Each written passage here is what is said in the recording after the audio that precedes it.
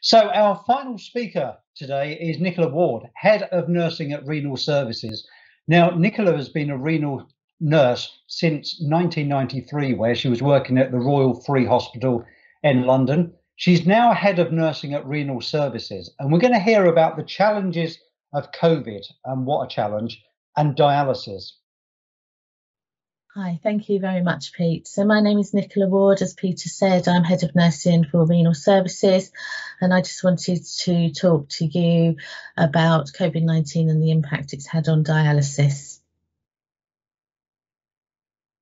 Um, so the agenda today is risks, home therapy versus in-centre dialysis, the psychological impact on COVID-19, and the enhanced measures and their impact that we've had on renal services and what's next. What does the future hold for us?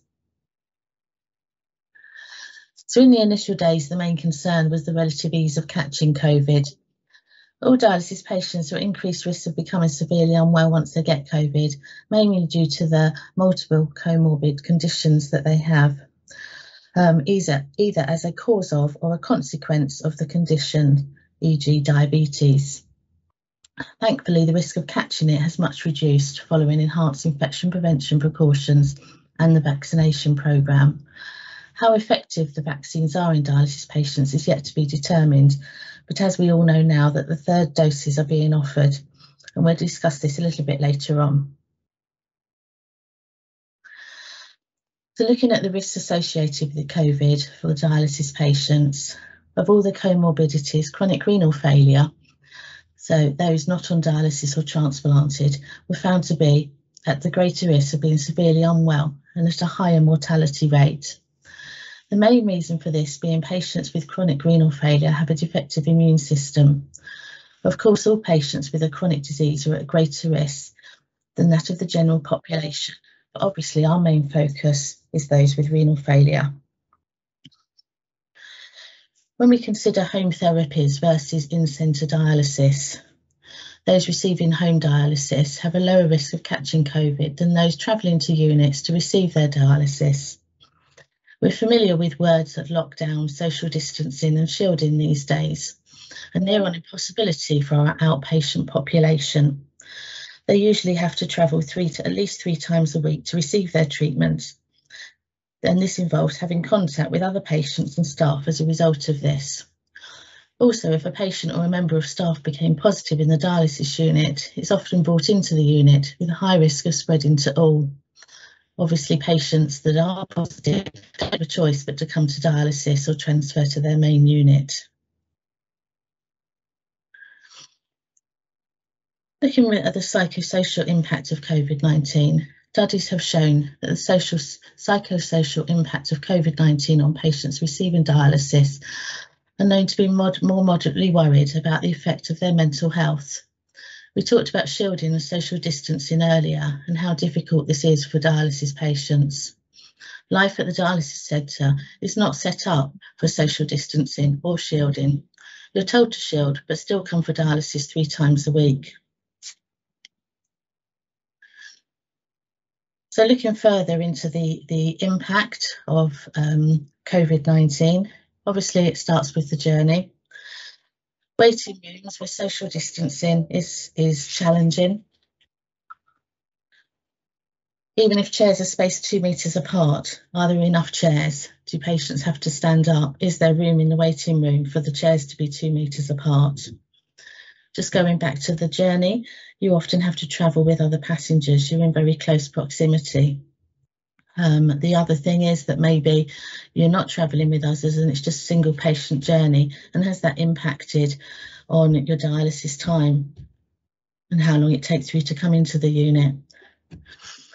We've talked about the waiting room chairs, but also the same applies to the dialysis chairs in the actual unit um, is okay in the larger clinics, but those in the smaller clinics where the um, dialysis chairs are closer together, are they two metres apart?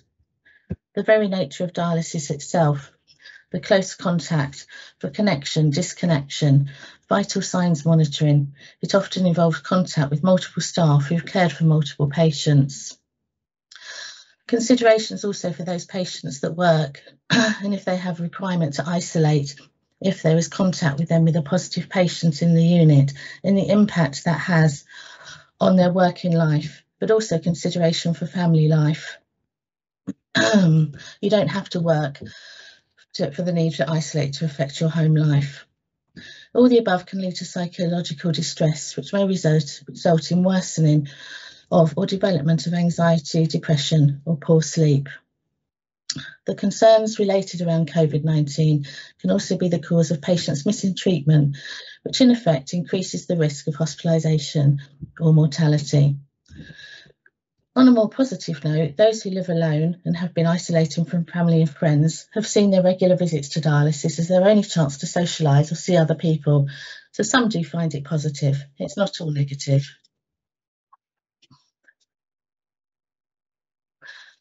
So we've already talked about um, transport and the close proximity with other patients, and we're talking about the enhanced measures here. Um, Self-drivers um, can often feel isolated if they're asked to wait outside in their cars before coming into the dialysis unit. It can increase anxiety about being forgotten or will be the last to be connected. We have triage, which seems to have been introduced in every dialysis um, clinic, Sometimes it's done in the transport, or sometimes it's done at the entry to the clinic, or both. Sometimes you can feel a bit over triaged. You ask the same questions every time. You have a fear that what is what if you need to say yes to one of these questions, or what if your temperature is high? In my experience, I've had patients not disclosing that a family member is positive due to their fear of being turned away from dialysis. Um, and in the past, that's means sort of having to isolate whole bays of patients because we weren't given the correct information. Social distance we've talked about. Um, some used to treat their dialysis sessions as a social occasion, built up very good relationships with fellow patients. They're no longer able, able to freely walk around and reduce interaction with others. We've also had to take things away from waiting rooms, patient leaflets, for example. These should still be available, but you have to ask, they're not freely available to pick up. Of course, we have the enhanced PPE for staff, in particular the mask wearing at all times. We're familiar with staff wearing visors for connection and disconnection procedures, but the addition of masks makes communication even harder for some, those hard of hearing in particular, not to mention the full respiratory PPE gowns, etc., that you have to wear for positives. Obviously, it's not just the staff that have to wear masks, it's the patients as well and the same reduces communication. They may feel uncomfortable, and patients with respiratory conditions in particular find difficulty tolerating this. There's a fear associated with this of staff not wanting to care for patients not wearing masks. Some units in the um, height of the pandemic um, decided to reduce dialysis hours um, and this was under the instruction of the um, trusts. Um, and obviously, this could have led to anxiety of the effect of the condition, dialysis adequacy. And we, also, we had the reduction of the frequency of dialysis. Some patients went from three times a week to twice a week. The enhanced cleaning measures often cause delays, the next shift not being able to enter the area until the previous shift has left and all the cleaning complete, which obviously left to delays. Some trusts introduce one-way systems. Our units are not particularly designed for this. The areas used as waiting rooms, which are not designed for. We have fire exits used as temporary exits to, to make way for the one-way system. And with that comes the increased risk of falls.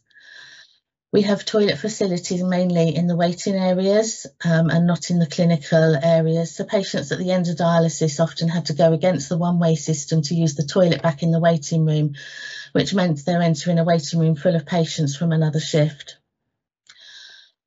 The routine swabbing, um, lots of the clinics do routine swabbing each week, some do more than once a week.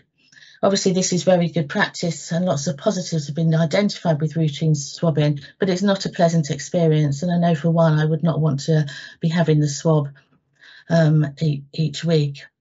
We then have the contact swabbing of being swabbed after each contact and the anxiety this leads to.